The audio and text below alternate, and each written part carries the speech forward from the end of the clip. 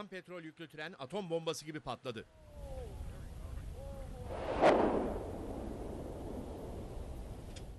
Amerika Birleşik Devletleri'nin Kuzey Dakota eyaletinin Castleton kenti yakınlarında ham petrol yüklü bir trenin başka bir trene çarpması sonucu meydana gelen kazada patlayan petrol yüklü vagonlardan çıkan alev ve dumanlar gökyüzünü kapladı.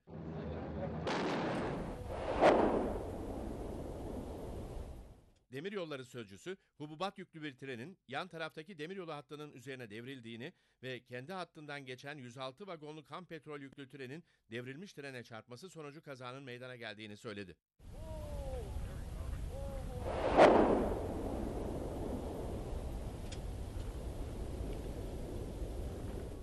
İki saat süren patlamalarda kaza mahalline 1,5 kilometre mesafedeki Castleton kentinde evler sallandı. Patlama sonrası gökyüzüne yükselen siyah duman kitlesi ise 25 kilometre mesafeden görülebildi. Ham petrol yüklü trenin 7 vagonunun patladığı kazayla ilgili olarak 2500 nüfuslu Castleton kenti sakinlerine tedbir amaçlı evlerinden dışarı çıkmamaları uyarısı yapıldı.